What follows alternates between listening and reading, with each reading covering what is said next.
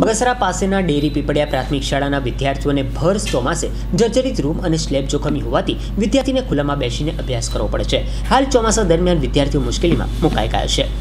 અમરેલી જિલ્લાના બગસરા તાલુકાના ડેરી પીપળિયા પ્રાથમિક શાળામાં તારીખ ત્રણ ત્રણ બે હજાર સત્તરના ઠરાવ મુજબ શાળાના રૂમ નડિયાવાળા તેમજ સ્લેબવાળા જોખમી હોય, ચોમાસા દરમિયાન તેમાંથી પાણી ટપકતું હોવાથી શાળાના ચુમ્મોતેર વિદ્યાર્થીઓ અભ્યાસ કરે છે.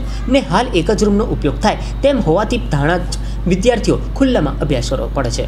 તેવી સ્થિતિ સર્જાઈ છે. ત્યારે આ બાબતની જાણ અમરેલી જિલ્લા પંચાયતના પ્રમુખ રવજીભાઈ વાઘેલાને થતાં ગ્રામ લોકોએ સાથે રાખીને શાળાની મુલાકાત લેતા આજનું ભવિષ્યમાન વિદ્યાર્થીઓને ખુલ્લા મેદાનમાં જ અભ્યાસ કરતા જોવા મળ્યું છે. ને ખુદ પ્રમુખ પણ ચોંકી ઉઠ્યા હતા.